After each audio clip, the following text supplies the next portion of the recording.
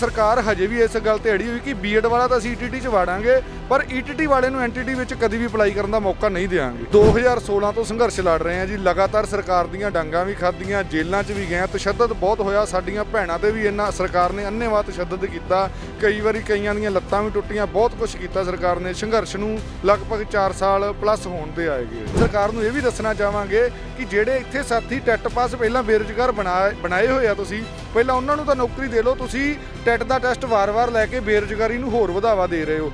ਸਰਕਾਰੀ ਦਰਬਾਰੇ ਨਾਲ ਗੱਲ ਹੋਈ ਕਿਸੇ ਬੰਦੇ ਨਾਲ ਗੱਲਬਾਤ? ਵੇਖੋ ਜੀ, ਮੁੱਖ ਮੰਤਰੀ ਸਾਹਿਬ ਤਾਂ ਅਯਾਸ਼ ਹੈਗੇ ਆ, ਉਹਨਾਂ ਦਾ ਅੱਜ ਤੱਕ ਸਾਡੇ ਕਿਸੇ ਵੀ ਟੀਚਰ ਨਾਲ ਕੋਈ ਵੀ ਮੀਟਿੰਗ ਨਹੀਂ ਕੀਤੀ। ਬਾਕੀ ਜਿਹੜੇ ਇਹਨਾਂ ਦੀ ਥਲੜੀ ਜਿੰਨੀ ਵੀ ਪਾਰਟੀ ਹੈਗੀ ਆ, ਜਿੰਨੇ ਵੀ ਮੰਤਰੀ ਹੈਗੇ, ਲਗਭਗ ਅਸੀਂ ਸਾਰਿਆਂ ਨੂੰ ਆਪਦਾ ਦੁਖੜਾ ਸੁਣਾ ਚੁੱਕੇ ਆ। ਪਰ ਸਾਰੇ ਸਾਨੂੰ ਭਰੋਸਾ ਦੇ ਕੇ ਤੋਰਦੇ ਆ ਕਿ ਕੋਈ ਨਹੀਂ ਤੁਹਾਡੇ ਮਸਲਿਆਂ ਤੇ ਗੱਲ ਕਰ ਰਹੇ ਆ। ਪਰ ਕਿਸੇ ਨੇ ਵੀ ਅਜੇ ਤੱਕ ਸਾਡਾ ਕੋਈ ਮਸਲਾ ਹੱਲ ਨਹੀਂ ਕੀਤਾ। ਅਸੀਂ ਤਾਂ ਜਿੰਨਾ ਚਿਰ ਸਾਨੂੰ ਰੁਜ਼ਗਾਰ ਨਹੀਂ ਮਿਲਦਾ, ਅਸੀਂ ਤਾਂ ਇਹਨਾਂ ਸਰਕਾਰ ਦਾ ਘਰਾਓ ਵੀ ਕਰਦੇ ਰਵਾਂਗੇ। ਡੰਡੇ ਵੀ ਖਾਂਦੇ ਰਵਾਂਗੇ, ਸਾਨੂੰ ਕਿਸੇ ਤਰ੍ਹਾਂ ਦੀ ਕੋਈ ਪਰਵਾਹ ਆਪਦੇ ਕਰਜ਼ੇ ਚੋਂ ਬਾਹਰ ਕੱਢਣਾ, ਮੇਰੇ ਹਿਸਾਬ ਨਾਲ 4 ਸਾਲਾਂ ਦੇ ਵਿੱਚ ਕੋਈ ਪੰਜਾਬ ਵਿੱਚ ਕੋਈ ਵੀ ਵਰਗ ਇਹੋ ਜਿਹਾ ਨਹੀਂ ਹੋਣਾ ਜਿਹੜਾ ਇਹਨਾਂ ਤੋਂ ਕੋਈ 1% ਵੀ ਸੁਖੀ ਹੋਵੇ।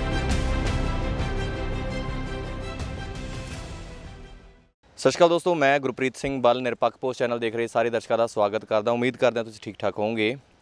ਪੰਜਾਬ ਦੇ ਵਿੱਚ ਖੜੇ ਆ ਤੇ ਪੰਜਾਬ ਦੀ ਸਰਕਾਰ ਦੀ ਜੇ ਗੱਲ ਕਰੀਏ ਤੇ ਨੌਜਵਾਨਾਂ ਦਾ ਖਾਸ ਕਰਕੇ ਕਾਫੀ ਰੋਸਾ ਹੁੰਦਾ ਪੰਜਾਬ ਸਰਕਾਰ ਨਾਲ। ਰੋਸਾ ਇਸ ਕਰਕੇ ਹੁੰਦਾ ਤੇ ਖਾਸ ਕਰਕੇ ਰੋਸੇ ਜਿਹੜੇ ਹੁੰਦੇ ਨੇ, ਉਹ ਅਧਿਆਪਕਾਂ ਦੇ ਹੁੰਦੇ ਨੇ, ਬੇਰੋਜ਼ਗਾਰਾਂ ਦੇ ਹੁੰਦੇ ਨੇ।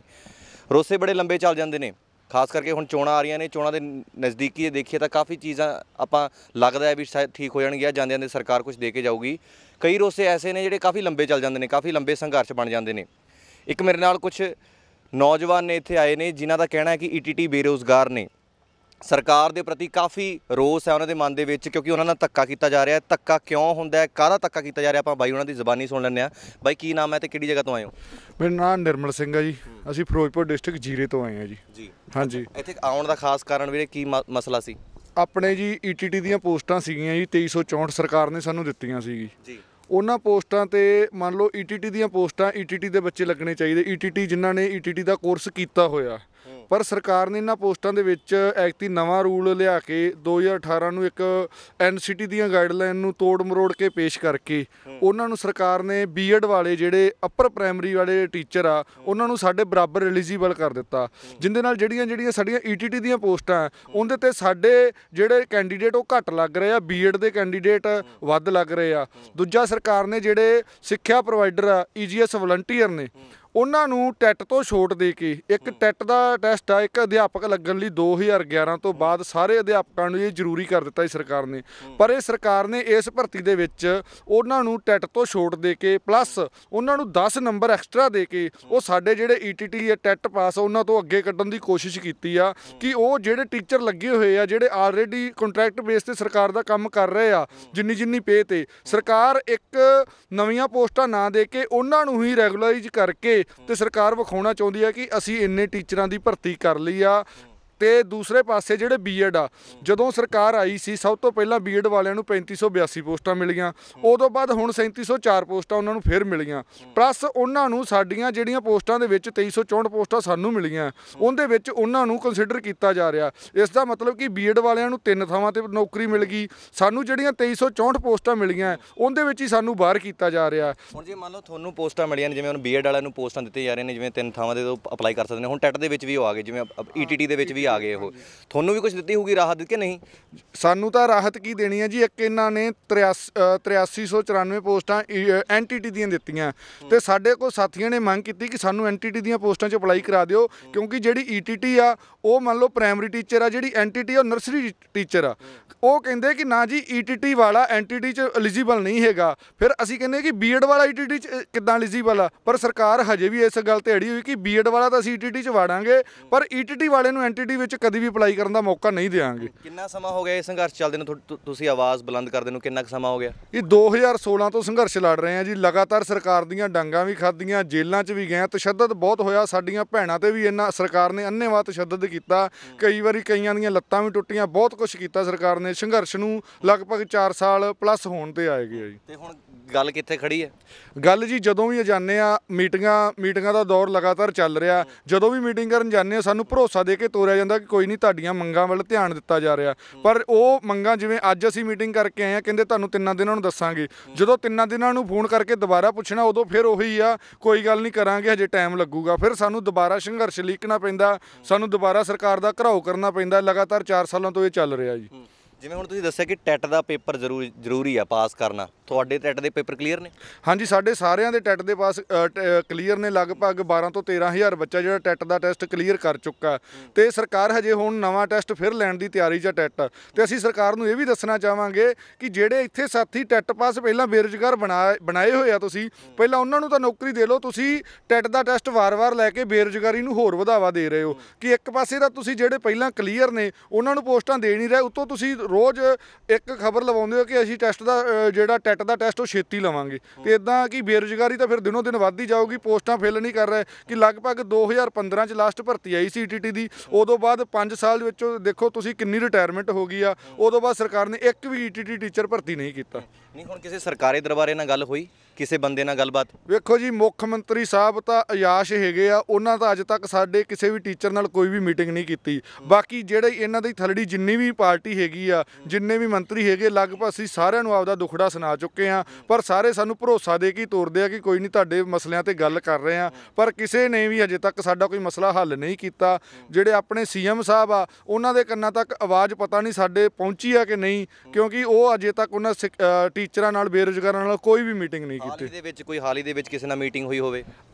ਹਾਲ ਹੀ ਦੇ ਵਿੱਚ ਅੱਜ ਹੀ ਅਸੀਂ ਸ਼੍ਰੇਸ਼ ਕੁਮਾਰ ਜੀ ਨਾਲ ਮੀਟਿੰਗ ਕਰਕੇ ਆਏ ਆ ਉਹਨਾਂ ਵੀ ਸਾਨੂੰ ਸੋਮਵਾਰ ਤੱਕ ਦਾ ਭਰੋਸਾ ਦਿੱਤਾ ਕਿ ਸੋਮਵਾਰ ਅਸੀਂ ਸਿੱਖਿਆ ਸਕੱਤਰ ਨੂੰ ਸੱਦ ਕੇ ਉਹਨਾਂ ਨਾਲ ਗੱਲਬਾਤ ਕਰਕੇ ਤੁਹਾਡਾ ਮਸਲਾ ਹੱਲ ਕਰਨ ਦੀ ਕੋਸ਼ਿਸ਼ ਕਰਦੇ ਆ ਹੱਲੇ ਵੀ ਮਿੱਠੀਆਂ ਗੋਲੀਆਂ ਦਿੱਤੀਆਂ ਗਈਆਂ। ਦਿਲ ਤੇ ਹੱਥ ਰੱਖ ਕੇ ਦੱਸਿਓ ਵੀ ਕੀ ਲੱਗਦਾ ਵੀ ਸੋਮਵਾਰ ਤੱਕ ਹੱਲ ਕੱਢ ਦਿੱਤੇ ਜਾਣਗੇ? ਜੀ, ਜਿੱਦਾਂ ਸਾਨੂੰ 4 ਸਾਲ ਹੋ ਗਏ ਆ ਕਿ ਅਸੀਂ ਤਾਂ ਐਡੀਆਂ ਮੀਟਿੰਗਾਂ ਕਰਕੇ ਵੀ ਸਾਡਾ ਹੱਲ ਨਹੀਂ ਨਿਕਲਿਆ ਤੇ ਸਾਡਾ ਵੀ ਦਿਲ ਤੇ ਹੱਥ ਰੱਖ ਕੇ ਕਿ ਸਾਡਾ ਦਿਲ ਵੈਸੇ ਹੀ ਕਹਿ ਰਿਹਾ ਕਿ ਇਹਨਾਂ ਕੁਝ ਨਹੀਂ ਕਰਨਾ, ਸਾਨੂੰ ਦੁਬਾਰਾ ਇਹਨਾਂ ਦੇ ਸ਼ਹਿਰਾਂ ਵਿੱਚ ਇਹਨਾਂ ਦੀਆਂ ਇਹਨਾਂ ਦੀਆਂ ਰੈਲੀਆਂ ਦਾ ਭੰਗ ਕਰਨੀਆਂ ਪੈਣਗੀਆਂ, ਕਿਉਂਕਿ ਇੱਕ ਬੇਰੁਜ਼ਗਾਰ ਆ, ਸਾਡੇ ਕੋਲ ਇਹ ਮੌਕਾ ਹੈਗਾ, ਇਸ ਤੋਂ ਬਾਅਦ ਸਾਡੇ ਲਗਭਗ ਬਹੁਤ ਜ਼ਿਆਦਾ ਸਾਥੀ ਜਿਹੜੇ ਓਵਰੇਜ ਹੋ ਜਾਣਗੇ, ਜਿਹੜੇ ਟੈਟਰ ਕਲੀਅਰ ਕਰਕੇ 4 4 ਸਾਲ ਤੋਂ ਸਾਡੇ ਨਾਲ ਧੱਕੇ ਖਾ ਰਹੇ ਆ, ਉਹਨਾਂ ਵੀ ਓਵਰੇਜ ਹੋ ਕੇ ਇਹਨਾਂ ਨੌਕਰੀ ਤੋਂ ਦੂਰ ਚਲੇ ਜਾਣਾ, ਅਸੀਂ ਤਾਂ ਜਿੰਨਾ ਚਿਰ ਸਾਨੂੰ ਰੁਜ਼ਗਾਰ ਨਹੀਂ ਮਿਲਦਾ।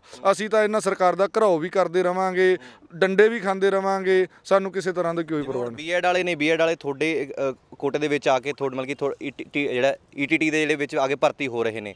ਤੁਹਾਨੂੰ ਨਹੀਂ ਲੱਗਦਾ ਸਰਕਾਰ ਨੂੰ ਜੇ ਜੇ ਬੀਐਡ ਵਾਲੇ ਤੁਹਾਨੂੰ ਆਉਣ ਲੱਗੇ ਨੇ ਤਾਂ ਤੁਹਾਨੂੰ ਵੀ ਕਿਤੇ ਨਾ ਹੋਰ ਰਾਹਤ ਦੇਣੀ ਚਾਹੀਦੀ ਹੈ? ਜਾਂ ਜਾਂ- ਜਾਂ ਤੁਸੀਂ ਇੱਥੇ ਜਾਂ ਤੁਹਾਡੇ ਟੈਟ ਦੇ ਜਿਹੜੇ ਨੇ ਈਟੀਟੀ ਦੇ ਨੇ ਇਹਨਾਂ ਨੂੰ ਖਾਲੀ ਪੋਸਟਾਂ ਕਰ ਦਿਓ ਜਾਂ ਤੁਹਾਡੇ ਜਿਹੜੇ ਬੇਰੋਜ਼ਗਾਰ ਨੇ ਉਹਨਾਂ ਨੂੰ ਭਰਤੀ ਕਰਨੀ ਸਟਾਰਟ ਕਰ ਦਿਓ ਜਾਂ ਇਹਨਾਂ ਨੂੰ ਹੋਰ ਰਾਹਤ ਦਿਓ ਕੋਈ ਕਿਤੇ ਹੋਰ ਭਰਤੀ ਕਰਾਉਣ? ਸਰ ਅਸੀਂ ਰਾਹਤ ਤਾਂ ਹੋਰ ਇਹਨਾਂ ਤੋਂ ਹੀ ਮੰਗਦੇ ਅਸੀਂ ਤਾਂ ਇੱਕ ਗੱਲ ਹੀ ਕਹਿਣਾ ਚਾਹਾਂਗੇ ਕਿ ਜਿਹੜੀ ਈਟੀਟੀ ਆ ਤੇ ਬੀਐਡ ਆ। ਉਹਦੇ 'ਚ ਫ਼ਰਕ ਇਹ ਆ ਕਿ ਜਿਹੜਾ ਈਟੀਟੀ ਆ ਉਹਨੇ ਪ੍ਰਾਇਮਰੀ ਬੱਚੇ ਨੂੰ ਪੜਾਉਣਾ ਪਹਿਲੀ ਤੋਂ ਪੰਜਵੀਂ। ਜਿਹੜਾ ਬੀਐਡ ਆ ਉਹਨੇ 6ਵੀਂ ਤੋਂ 8ਵੀਂ ਮੰਨ ਲਓ ਇੱਕ ਜਿਹੜਾ ਕੰਨਾਂ ਦਾ ਡਾਕਟਰ ਆ ਜੇ ਆਪਾਂ ਉਹਦੇ ਕੋਲੋਂ ਹਾਰਟ ਦਾ ਮਰੀਜ਼ ਲੈ ਜਾਈਏ ਆਪਾਂ ਉਹਨੂੰ ਕਹਿ ਦਈਏ ਕਿ ਤੁਸੀਂ ਸਾਡੇ ਇਹਦਾ ਹਾਰਟ ਦਾ ਆਪਰੇਸ਼ਨ ਕਰ ਦਿਓ ਤੇ ਉਹ ਮੇਰੇ ਹਿਸਾਬ ਨਾਲ ਕੰਨਾਂ ਨੂੰ ਹੱਥ ਹੀ ਲਾਏਗਾ ਕਿ ਮੈਂ ਇਹਦਾ ਹਾਰਟ ਦਾ ਆਪਰੇਸ਼ਨ ਨਹੀਂ ਕਰ ਸਕਦਾ। ਹੁਣ ਉਸੇ ਤਰ੍ਹਾਂ ਹੀ ਆ ਜਿਹੜਾ ਬੀਐਡ ਬੱਚਾ ਹੈ, ਉਹਨੂੰ ਈਟੀਟੀ ਦਾ ਈਟੀਟੀ ਦੇ ਸਟੂਡੈਂਟ ਨੂੰ ਪੜਾਉਣ ਲਈ ਜਿਵੇਂ ਪਹਿਲੀ ਤੋਂ ਪੰਜਵੀਂ ਤੱਕ ਸਰਕਾਰ ਪਹਿਲਾਂ 6 ਮਹੀਨੇ ਦਾ ਆਪਦੇ ਕੋਲੋਂ ਬ੍ਰਿਜ ਕੋਰਸ ਕਰਾਊਗੀ ਉਹਨਾਂ ਨੂੰ ਟ੍ਰੇਨ ਕਰਨ ਵਾਸਤੇ। ਇਹ ਜੇਕਰ ਸਰਕਾਰ ਕੋਲ ਆਲਰੇਡੀ ਟ੍ਰੇਨ ਟੀਚਰ ਹੈਗੇ ਆ ਕਿ ਉਹਨਾਂ ਕੋਲ ਈਟੀਟੀ ਕੈਂਡੀਡੇਟ ਅਵੇਲੇਬਲ ਹੈਗੇ ਆ ਉਹ ਅਨਟ੍ਰੇਨਡ ਨੂੰ ਟ੍ਰੇਨ ਕਰਨ ਦੀ ਜਿੱਤ ਤੇ ਕਿਉਂ ਅੜੀ ਹੋਈ ਆ ਉਹ ਵੀ ਆਪਦੇ ਖਰਚੇ ਤੇ।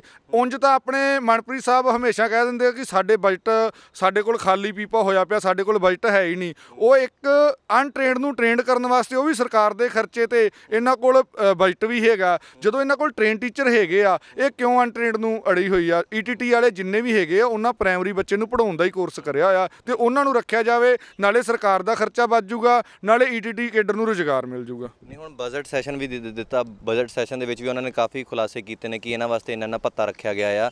ਹੁਣ ਸਰਕਾਰ ਜਾ ਰਹੀ ਹੈ ਦੇਖੇ ਤਾਂ 2022 ਦੀ ਚੋਣਾਂ ਕੋਲ ਨੇ, ਕੀ ਲੱਗਦਾ ਸ਼ਾਇਦ ਹੋ ਸਕਦਾ ਵੀ ਤੁਹਾਡੀ ਮੰਗ ਸੁਣੀ ਵੀ ਜਾ ਸਕਦੀ ਹੈ? ਮੰਗ ਸੁਣੀ ਜਾਣ ਕਰਕੇ ਤਾਂ ਅਸੀਂ ਇੱਕ ਹਿਸਾਬ ਦਾ ਇਹਨਾਂ ਦੇ ਕੰਨਾਂ ਕੋਲ ਪੀਪਾ ਖੜਕਾ ਰਹੇ ਆ ਪਰ ਜਿਹੜੇ ਇਹਨਾਂ ਬਜਟ 'ਚ ਵਾਅਦੇ ਕੀਤੇ ਆ, ਅੱਜ ਤੋਂ 4 ਸਾਲ ਪਹਿਲਾਂ 4 ਵਾਰੀ ਬਜਟ ਪਹਿਲਾਂ ਪੇਸ਼ ਹੋ ਗਿਆ, ਪੰਜਵੀਂ ਵਾਰੀ ਇਹ ਬਜਟ ਪੇਸ਼ ਹੋਇਆ। ਹਰੇ, ਹਰੇਕ ਬਜਟ ਦੇ ਵਿੱਚ ਇਹਨਾਂ ਕੁਛ ਨਾ ਕੁਛ ਨਵਾਂ ਦਿੱਤਾ, ਪਰ ਉਹ ਸਿਰਫ ਬਜਟ ਆਪਦੇ ਘਰ ਲਈ ਰੱਖਿਆ ਇਹਨਾਂ। ਉਹਦੇ 'ਚ ਇਹਨਾਂ ਆਪਦੇ ਘਰ ਭਰੇ ਆ ਆਪਦੇ ਕਰਜ਼ੇ ਲਾਏ ਆ, ਆਪਦੇ ਜਿਹੜੇ ਚਹੇਤੇ ਆ, ਉਹਨਾਂ ਦੇ ਕਰਜ਼ੇ ਲਾਏ ਆ ਕਿ ਉਹਨਾਂ ਨੂੰ ਕਿਵੇਂ ਆਪਦੇ ਕਰਜ਼ੇ 'ਚੋਂ ਬਾਹਰ ਕੱਢਣਾ। ਮੇਰੇ ਹਿਸਾਬ ਨਾਲ 4 ਸਾਲਾਂ ਦੇ ਵਿੱਚ ਕੋਈ ਕੋਈ ਪੰਜਾਬ ਵਿੱਚ ਕੋਈ ਵੀ ਵਰਗ ਇਹੋ ਜਿਹਾ ਨਹੀਂ ਹੋਣਾ ਜਿਹੜਾ ਇਹਨਾਂ ਤੋਂ ਕੋਈ 1% ਵੀ ਸੁਖੀ ਹੋਵੇ। ਜੇ ਆਪਾਂ ਕਿਸਾਨਾਂ ਦੀ ਗੱਲ ਕਰੀਏ ਕਿਸਾਨਾਂ ਨੂੰ ਇਹਨਾਂ ਕਰਜ਼ੇ ਮਾਫੀ ਦੇ ਵਾਅਦੇ ਕੀਤੇ ਕਿਸੇ ਨੂੰ ਕੋਈ ਵਾਅਦਾ ਨਹੀਂ ਕੀਤਾ। ਬੇਰੁਜ਼ਗਾਰਾਂ ਨਾਲ ਬੇਰੁਜ਼ਗਾਰੀ ਭੱਤੇ ਦੇ ਵਾਅਦੇ ਕੀਤੇ। ਜਿਹੜੇ ਬੁਢਾਪਾ ਪੈਨਸ਼ਨਾਂ ਵਧਾਉਣ ਦੀ ਗੱਲ ਕੀਤੀ ਸ਼ਗਨ ਸਕੀਮ ਵਧਾਉਣ ਦੀ ਗੱਲ ਕੀਤੀ ਘਰ ਘਰ ਨੌਕਰੀ ਦਾ ਵਾਅਦਾ ਕੀਤਾ ਸਮਾਰਟਫੋਨ ਦੇ ਵਾਅਦੇ ਕੀਤੇ ਜਿੰਨੇ ਵੀ ਵਾਅਦੇ ਕੀਤੇ ਆ, ਗੁੜਕਾ ਸਾਹਿਬ ਦੀ ਸਹੁੰ ਚੱਕ ਕੇ ਇਹਨਾਂ ਕਈ ਵਾਅਦੇ ਕੀਤੇ ਪਰ ਉਹਨਾਂ ਵਿੱਚੋਂ ਇਹਨਾਂ ਵੀ ਇੱਕ ਵੀ ਵਾਅਦਾ ਪੂਰਾ ਨਹੀਂ ਕੀਤਾ। ਅਸੀਂ ਅੱਜ ਜਦੋਂ ਮੰਤਰੀ ਸਾਹਿਬ ਨੂੰ ਮਿਲੇ ਤਾਂ ਉਹ ਕਹਿ ਰਹੇ ਸੀ ਅਸੀਂ ਪੰਜਾਬ ਵਿੱਚ ਇੰਨੇ ਟੀਚਰ ਰੱਖ ਚੁੱਕੇ ਆ ਉਹ ਵੀ 5 ਸਾਲ ਦੇ ਵਿੱਚ।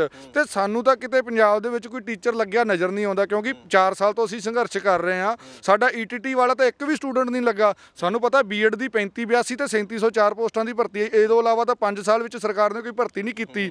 ਇੱਕ ਝੂਠਾਂ ਦਾ ਪਲੰਦਾ ਲੈ ਕੇ ਪਤਾ ਨਹੀਂ ਉਹ ਕਿਹੜੇ ਸ਼ਾਇਦ ਇਹ ਹਜੇ ਵੀ ਕਹਿ ਰਹੇ ਕਿ ਅਸੀਂ ਇਸ ਜਿਹੜੇ ਅਸੀਂ ਵਾਅਦੇ ਕੀਤੇ ਸੀ ਉਹਨਾਂ ਨੂੰ ਪੂਰੇ ਕਰ ਰਹੇ ਆ ਸਾਨੂੰ ਤਾਂ ਕੋਈ ਇਹਨਾਂ ਦਾ ਵਾਅਦਾ ਕੀਤਾ ਪੂਰਾ ਨਜ਼ਰ ਨਹੀਂ ਆ। ਹਰ ਵਰਗ ਇਹਨਾਂ ਤੋਂ ਦੁਖੀ ਆ, ਹਰ ਵਰਗ ਸੜਕਾਂ ਤੇ ਉਤਰਿਆ ਹੋਇਆ।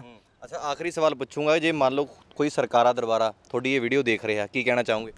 ਅਸੀਂ ਤਾਂ ਉਹਨਾਂ ਨੂੰ ਇਹੀ ਕਹਿਣਾ ਚਾਹੋਗੇ ਕਿ ਸਾਡੀਆਂ ਜਿਹੜੀਆਂ ਮੰਗਾਂ ਅਸੀਂ ਜਾਇਜ਼ ਮੰਗ ਕਰ ਰਹੇ ਹਾਂ ਕੋਈ ਨਜਾਇਜ਼ ਮੰਗ ਨਹੀਂ ਕਰ ਰਹੇ। ਜੇਕਰ ਇਹ ਕੋਈ ਵੀ ਸਾਡੀ ਵੀਡੀਓ ਵੇਖ ਰਿਹਾ ਉਹ ਅਸੀਂ ਇਹੀ ਕਹਿਣਾ ਚਾਹੋਗੇ ਕਿ ਮੰਤਰੀ ਸਾਹਿਬ ਦੇ ਕੰਨਾਂ ਤੱਕ ਇਹ ਆਵਾਜ਼ ਪਹੁੰਚਾ ਦਿਓ ਕਿ ਜੇਕਰ ਈਟੀਟੀ ਕੇਡਰ ਦਾ ਹੱਲ ਨਹੀਂ ਹੋਇਆ ਤੇ ਆਉਣ ਵਾਲੀਆਂ ਚੋਣਾਂ ਵਿੱਚ ਤੁਹਾਡੀਆਂ ਜ਼ਮਾਨਤਾਂ ਜ਼ਬਤ ਕਰਾ ਕੇ ਪਿੰਡਾਂ 'ਚੋਂ ਭੇਜਾਂਗੇ। ਤਾਂ ਸਾਡੇ ਹਰ ਪਿੰਡ ਵਿੱਚ ਇੱਕ 'ਚ ਦੋ ਕੈਂਡੀਡੇਟ ਹੈਗੇ ਆ ਤੇ ਉਹ ਸਾਡੇ ਸਾਰੇ ਕੈਂਡੀਡੇਟ ਜੁਝਾਰੂ ਆ। ਉਹ ਕਿਸੇ ਵੀ ਤਰ੍ਹਾਂ ਦੇ ਡਰਦੇ ਨਹੀਂ ਕਿਸੇ ਤੋਂ। ਕੱਲਾ ਕੱਲਾ ਕੈਂਡੀਡੇਟ ਤੁਹਾਨੂੰ ਪਿੰਡ ਦੀ ਜੂਹ ਤੋਂ ਮੋੜੂਗਾ। ਉਹਦੇ ਲ- ਵਾਸਤੇ ਉਹਨੂੰ ਭਲਾ ਕੁਝ ਵੀ ਕਰਨਾ ਪਵੇ, ਅਸੀਂ ਪਿੰਡਾਂ 'ਚ ਵੜਨ ਦਾ ਤੁਹਾਡਾ ਬਾਈਕਾਟ ਕਰਾਂਗੇ।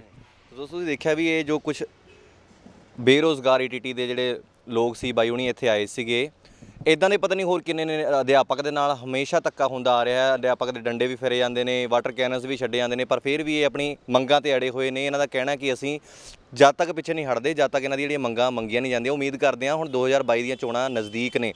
ਇੱਕ ਪਾਸੇ ਦੇਖੀਏ ਤਾਂ ਕਿਸਾਨੀ ਸੰਘਰਸ਼ ਚੱਲ ਰਿਹਾ, ਕਿਸਾਨੀ ਸੰਘਰਸ਼ ਵੀ ਜਿਹੜਾ ਪੂਰਾ ਜੋਬਨ ਤੇ ਹੈ। ਉਥੇ ਨਾਲ ਹੀ ਦੇਖੀਏ ਤਾਂ ਜਿਹੜਾ ਪਿੱਠ ਤੇ ਛੁਰੇ ਜਿਹੜੇ ਮਾਰੇ ਜਾਂਦੇ ਨੇ, ਲਗਾਤਾਰ ਸਰਕਾਰ ਵੱਲੋਂ ਵਾ- ਵਾਅਦੇ ਕਹਿ ਕੇ ਨਾ ਪੂਰੇ ਕੀਤੇ ਜਾਂਦੇ ਨੇ। ਉਮੀਦ ਕਰਦੇ ਹਾਂ ਵੀ 2022 ਦੀ ਜਿਹੜੇ ਚੋਣਾਂ ਆ ਰਹੀਆਂ ਨੇ, ਇਹਨਾਂ ਵੱਲ ਵੀ ਧਿਆਨ ਦਿੱਤਾ ਜਾਵੇ ਤਾਂ ਕਿ ਜਿਹੜੀਆਂ ਇਹਨਾਂ ਦੀਆਂ ਮੰਗਾਂ ਨੇ, ਉਹ ਵੀ ਮੰਨ ਕੇ ਤਾਂ ਕਿ ਇਹ ਵੀ ਆਪਣੇ ਪਰਿਵਾਰ ਨਾਲ ਖੁਸ਼ੀ-ਖੁਸ਼ੀ ਰਹਿ ਸਕਣ। ਪੰਜਾਬ ਅਤੇ ਪੰਜਾਬੀਅਤ ਨਾਲ ਜੁੜਿਆ ਹਰ ਮੁੱਦਾ, ਹਰ ਖਬਰ ਨਿਰਪੱਖ ਤਰੀਕੇ ਨਾਲ ਤੁਹਾਡੇ ਤੱਕ ਪਹੁੰਚਣ ਦੀ ਕੋਸ਼ਿਸ਼ ਵਿੱਚ ਤੁਸੀਂ ਵੀ ਦੇਵੋ ਸਾਡਾ ਸਾਥ। ਤਾਂ ਹੁਣੇ ਲਾਈਕ ਕਰੋ ਸਾਡਾ ਫੇਸਬੁੱਕ ਪੇਜ ਸਬਸਕ੍ਰਾਈਬ ਕਰੋ YouTube ਤੇ ਅਤੇ ਫੋਲੋ ਕਰੋ ਇੰਸਟਾ ਅਤੇ ਟਵਿੱਟਰ ਤੇ ਨਿਰਪੱਖ ਪੋਸਟ ਖਬਰ ਦੀ ਨਿਰਪੱਖ ਆਵਾਜ਼ ਵਿਜਿਟ ਵਿਜ਼ਿਟ ਕਰੋ www.nirpakhpost.com